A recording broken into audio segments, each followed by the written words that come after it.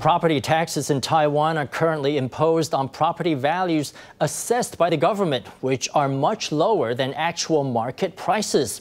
The Ministry of the Interior wants to change that within five years. It has proposed imposing the taxes on what it calls precise land values obtained through big data analysis. That will push land taxes higher, something homeowners will have a hard time swallowing.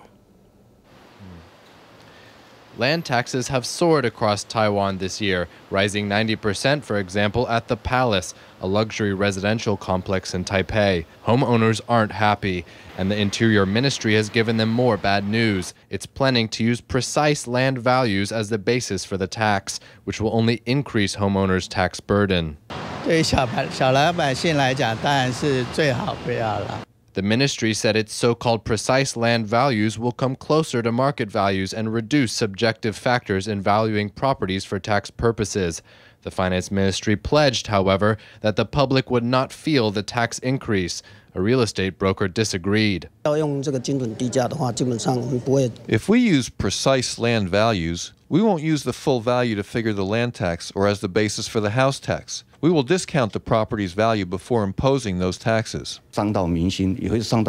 The new system would hurt buying interest, hurt social stability, and hurt the overall economy. Real estate broker Lee Tung-jung also criticized the financial officials in Premier Lin Chuan's cabinet, saying that they have no idea how to get the economy going but are good at raising taxes and rejecting discussion. He urged that they be replaced.